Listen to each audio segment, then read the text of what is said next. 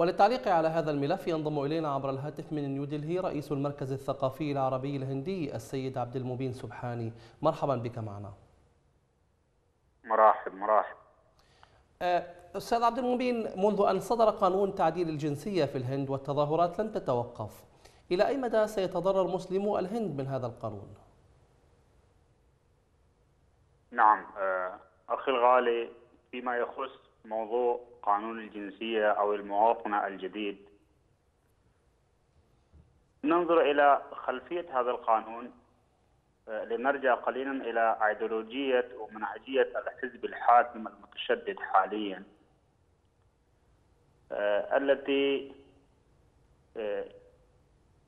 نقول بأنه هناك حركة هندوسية متشددة تأسست عام 1974 24 وهذه الحركة هي التي تحرك الحزب الحاكم الحالي المتشدد. عندهم نية لتحويل مسلم الهند إلى مواطن درجة ثانية. وحاولوا مرارا منذ 1924 لغاية الآن ولم ينجحوا.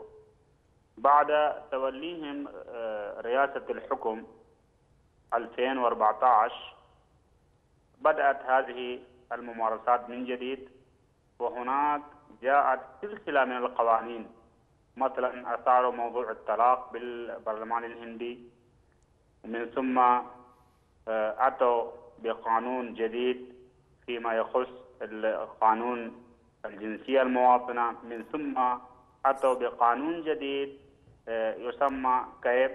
آه، قانون آه، تعديل قانون الجنسية أو المواطنة. نعم. المشكلة الأساسية المشكلة الأساسية في هذه القضية بأن الحكومة الهندية تدعي أنها تمنح الجنسية للمهاجرين غير المسلمين من دول الجوار الذين تضرروا في دول الجوار. ولكن القضية المبطنة في هذه المشكلة بأن بعد إحصائيات 1951 للشعب الهندي بعد آه، تقسيم الهند إلى دولتين باكستان والهند لم تجري هناك إحصائيات على هذا الغرار بالرغم أنها إحصائيات مستمرة للشعب الهندي كل خمس سنوات قبل الانتخابات ولكن الوقت الحالي الحكومة الحالية ترى بأنه على المواطنين الهنود بما فيهم الهندوس أن يثبتوا بأن لديهم أوراق ثبوتية تثبت على مواطنتهم وجنسيتهم بأنهم آبائهم وأجدادهم قد عاشوا على ما الصعوبات التي تواجه المسلمين في هذه النقطة تحديدا؟ إثبات الجنسية نعم.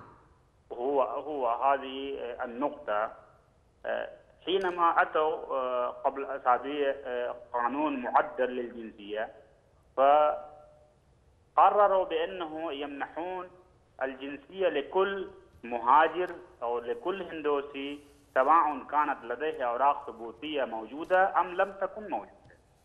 أما نعم. بالنسبة للمسلمين استثنوا من هذا القانون. معنى ذلك بأن حينما يطبق هذا القانون على أرض الواقع على مسلم الهند أن يثبتوا بأنهم من مواطن الهند الأصليين. إن لم يثبتوا بالأوراق التعديدية وبالتأكيد هذه الأوراق غير موجودة لأنه أوراق الإقارات للآباء والأجداد حتى لدى الحكومة ربما غير متوفرة نعم فإن لم يثبتوا المسلمين بالأوراق فلن يستحقوا الجنسية أو البقاء في الهند وإنما نعم. يتم تحويلهم إلى معتقلات التي تمت تم بناؤها في عموم الولايات نعم. الهندية تقريبا. وصلت الفكرة. أشكرك جزيلا أستاذ عبد المبين سبحاني رئيس المركز الثقافي العربي الهندي. كنت معنا عبر الخط الهاتفي من نيودلهي